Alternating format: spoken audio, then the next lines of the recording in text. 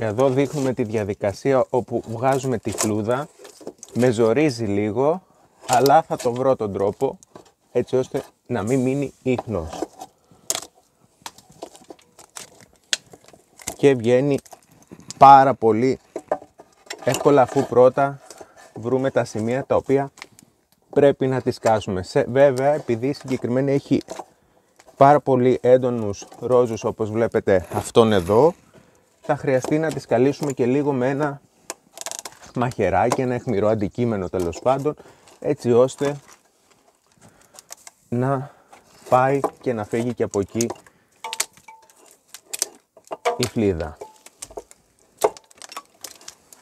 Όπως και να έχει, και πάρα πολύ, γι' αυτό βλέπετε και την πιάνω πάρα πολύ λίγο. Λογικό είναι, ήταν μέσα στο φούρνο όπου αυτή τη στιγμή έχει 250 βαθμούς ο φούρνος μας.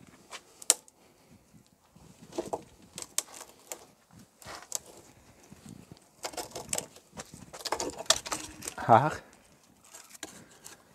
Ωραία.